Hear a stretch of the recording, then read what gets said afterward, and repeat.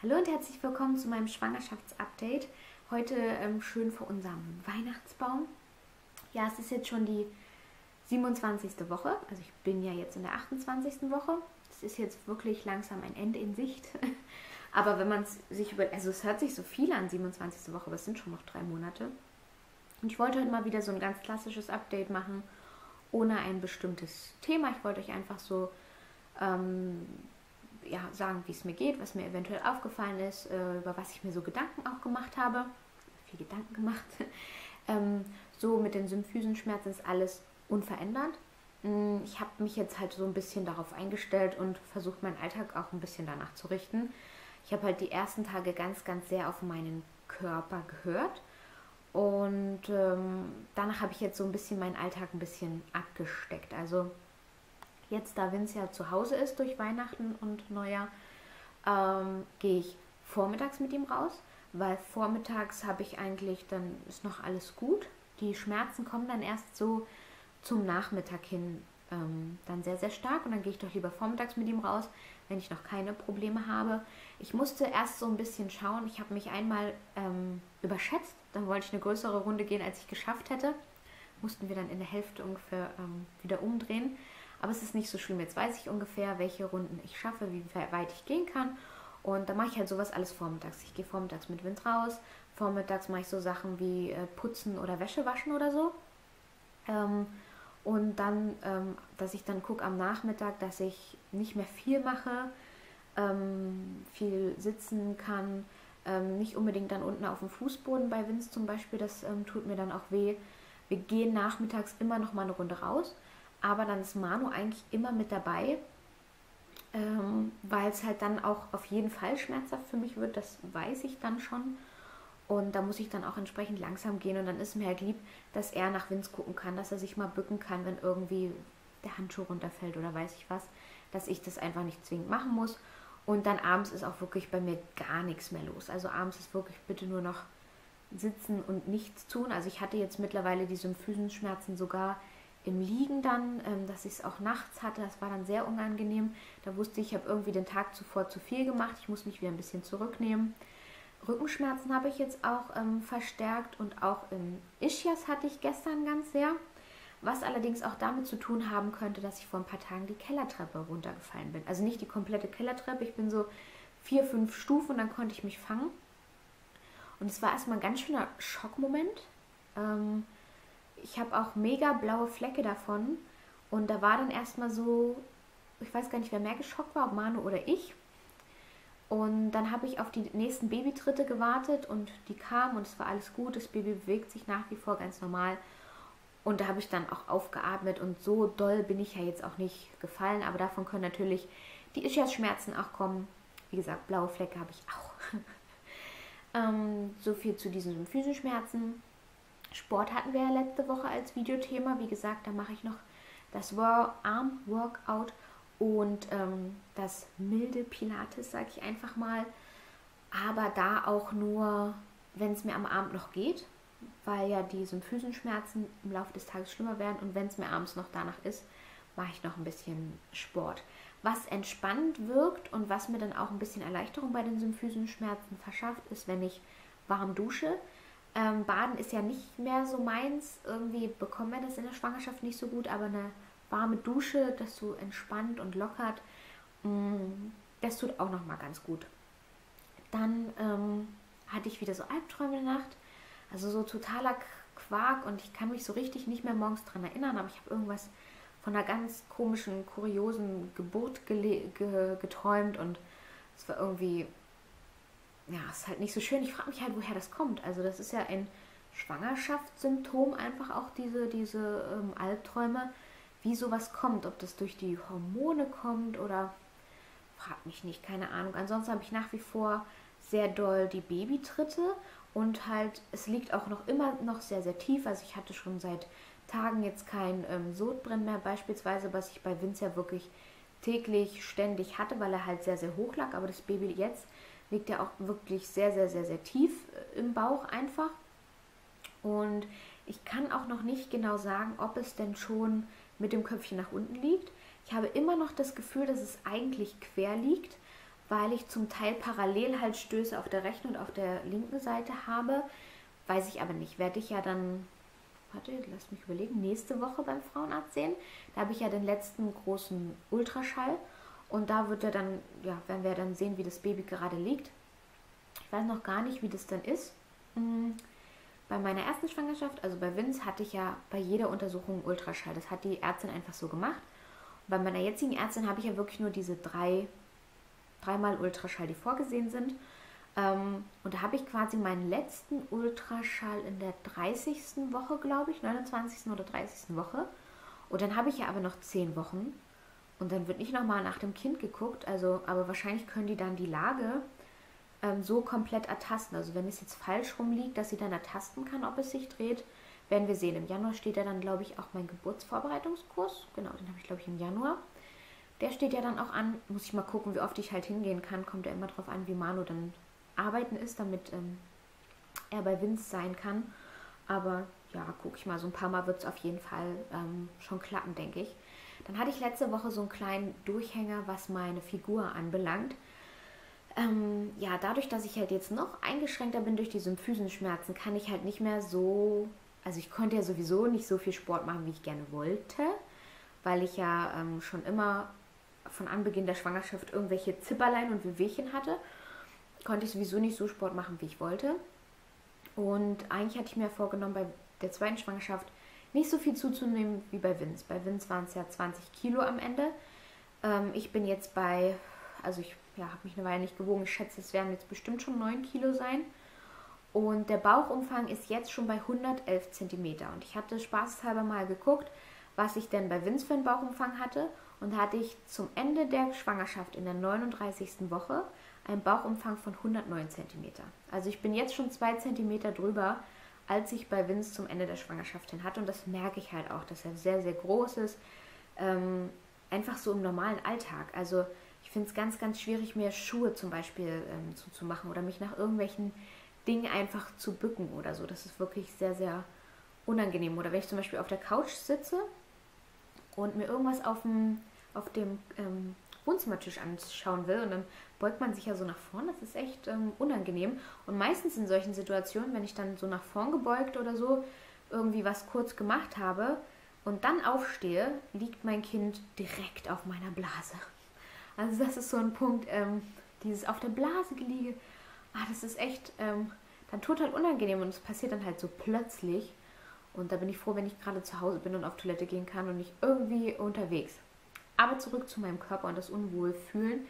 Ähm, ich weiß, dass ich bei Vince natürlich auch irgendwie auseinandergegangen bin.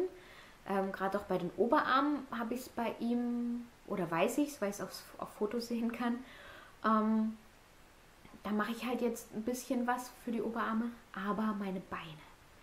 Ähm, ich habe meine Oberschenkel werden immer größer, meine Unterschenkel. Ähm, an meinem Hintern setzt sich ähm, Fett an und ich habe mich letzte Woche so unwohl gefühlt und es war so, ja, äh, ich konnte halt nicht, nicht, also wenn ich nicht schwanger gewesen wäre, hätte ich mich einfach zusammengerissen und Sport gemacht. Hätte ähm, mal wieder noch extrem auf meine Ernährung geachtet. Ich finde, ich achte in der Schwangerschaft so sehr, sehr gut darauf, aber ich kann halt nicht auf irgendwelche Lebensmittel verzichten oder die sehr einschränken, wie zum Beispiel Kohlenhydrate oder Milchprodukte. Ähm, ich habe halt auch im Moment große Lust auf Milchprodukte oder Kohlenhydrate wie Nudeln beispielsweise. Und man sagt ja, ähm, was der Körper in der Schwangerschaft braucht, danach hat er auch Gelüste. Und deswegen esse ich es auch so, aber dann nicht ähm, die extrem fettige Variante oder extrem viel. Ich esse auch keine doppelten Portionen oder sowas. Oftmals äh, schaffe ich meine Portionen ähm, auch gar nicht. Und ich habe auch nicht mehr Hunger oder ich habe auch keinen Heißhunger zum Glück. Also so am Essen kann es gar nicht liegen. Ich weiß nicht, ob durch irgendwas mein Stoffwechsel extrem eingeschränkt ist, dass deswegen ist.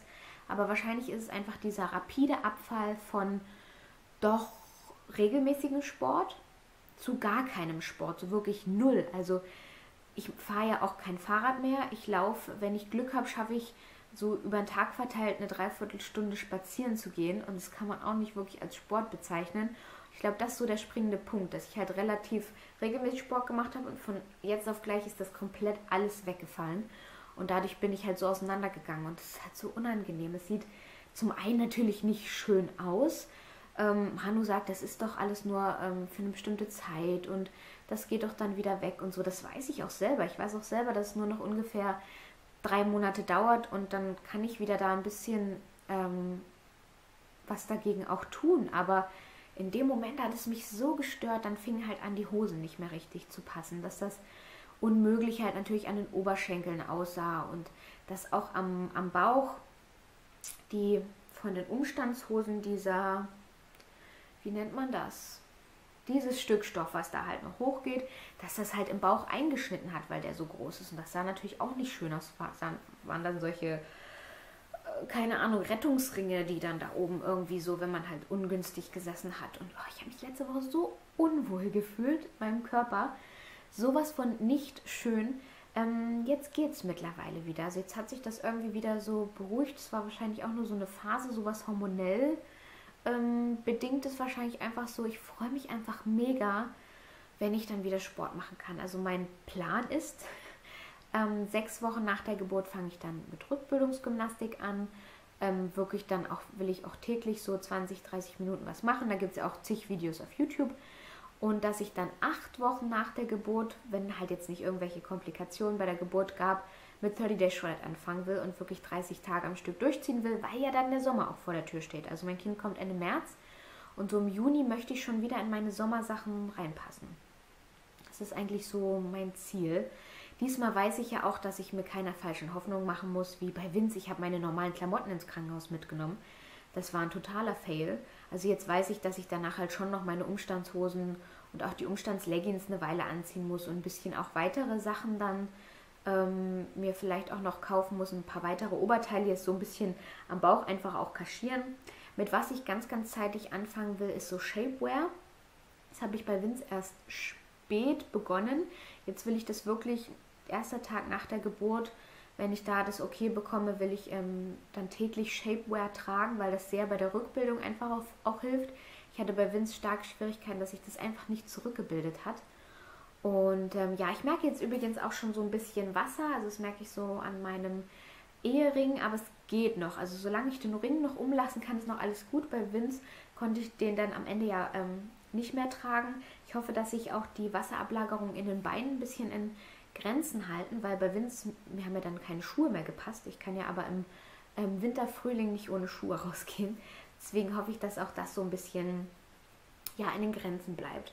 Dann steht ja jetzt im Januar die Renovierung der Kinderzimmer an. Das wird dann auch hier wahrscheinlich komplett Thema auf dem Kanal sein. Ähm, Vlogs und Roomtouren und alles Mögliche ähm, zu der Renovierung. Und ich freue mich auch schon sehr drauf. Also ich hasse es zu renovieren. Alles, was so halt streichen ist und tapezieren und Möbel aufbauen, ist so nicht meins. Aber ähm, Schränke ausräumen ist noch okay. Und dann freue ich mich einfach auf den Moment, wenn die Kinderzimmer fertig sind, wenn die Möbel stehen und ich alles einräumen kann. Und wenn ich dann vom Dachboden, wenn es ähm, alte Baby, also alte Babysachen runterholen kann, wenn ich die waschen kann, wenn ich die dann ähm, in den Schrank einsortieren kann. Auf sowas freue ich mich unglaublich doll. Ähm, und es ist auch sehr, sehr wichtig, dass ich das bald mache, weil ich habe komplett überhaupt gar keinen Überblick, was ich bei Vince in welchen Größen hatte. Weil Vince ist ja im Hochsommer geboren und das Baby jetzt kommt ja schon, also im Ende März wird es sicherlich noch recht kühl sein. Gerade weil wir halt jetzt auch nicht, noch nicht wirklich Winter haben, habe ich Angst, dass der Winter dann sehr, sehr lange anhält. Auch dieser kalte Winter dann sehr, sehr lange anhält. Und deswegen muss ich mir unbedingt einen Überblick verschaffen, was ich eventuell ähm, noch bräuchte, gerade in den kleinen Größen vielleicht. Dann, genau, da werde ich dann mal nochmal losziehen und ganz gezielt nochmal die und die Babysachen besorgen dann muss ich mir dann auch mal so Gedanken machen, was habe ich jetzt noch von Vince, was muss ich mir noch holen. Da wollte ich mal eine Liste machen, weil ich wollte auch ein Video darüber machen, über die Anschaffung beim zweiten Kind, weil man da ja nicht mehr alles braucht und einfach dann mal so wirklich zu überlegen, was brauche ich noch, dann will ich ja ein bisschen was ausprobieren, was ich bei Vince halt einfach nicht gemacht habe. Also ich möchte halt eine Trage mir kaufen, ähm, weil ich hatte ja bei Vince überhaupt gar keine, auch kein Tragetuch oder so. Und das einfach mal für mich ausprobieren. Einfach so Dinge. Oder ich brauche zum Beispiel keinen Kinderwagen, aber ein Kiddyboard für Vince und so. Und damit will ich mich dann beschäftigen, wenn die Renovierung abgeschlossen ist. Also das wird so den kompletten Januar in ähm, Zeit in Anspruch nehmen, weil wir machen ja unser Schlafzimmer auch mit. Also es wird oben alles komplett gemacht.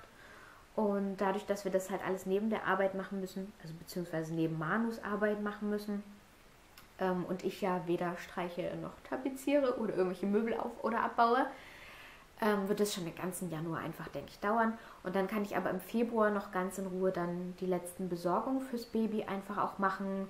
Werde dann auch anfangen, so die Kliniktasche zu packen und solche Sachen. Das werde ich dann alles auch auf Video festhalten und darauf freue ich mich. Also das so, sind so die Sachen, auf die ich mich Anfang nächstes Jahres sehr, sehr freue, weil dann so die Vorbereitung aufs Baby wirklich richtig losgeht. Jetzt war es eher noch so, ähm, ja, es kommt, wir wissen wann. Und im Kopf spielte man schon immer mal so durch, was man noch kaufen muss oder was man noch alles erledigen muss, aber das geht dann für uns erst so richtig dann im neuen Jahr los. Dass wir die restlichen Sachen kaufen, dass man dann nochmal überlegt, hat man jetzt alles, dass man halt das Zimmer einrichtet und so. Aber da freue ich mich sehr drauf. Genau, das war mein Schwangerschaftsupdate zur 27. Schwangerschaftswoche. Gab jetzt nicht so viel Spannendes zu erzählen, aber ich teile halt einfach gerne mit euch, ähm, wie es mir so geht, was ich an mir festgestellt habe. Ich denke, das nächste Update wird dann wieder interessanter, wenn ich beim ähm, Frauenarzt dann war und den letzten großen Ultraschall hatte. Vielleicht kann ich euch dann auch endlich sagen, was es wird. Wenn ich es euch da nicht sagen kann, dann erfahren wir das allererst bei der Geburt unseres Kindes. Ja, ich hoffe, euch hat mein Video wieder gefallen. Schreibt mir gerne in den Kommentaren, wie es euch gerade so geht oder wenn ihr irgendwelche Fragen habt. Und wir sehen uns dann ganz bald wieder bei meinem nächsten Video. Bis dahin, tschüss!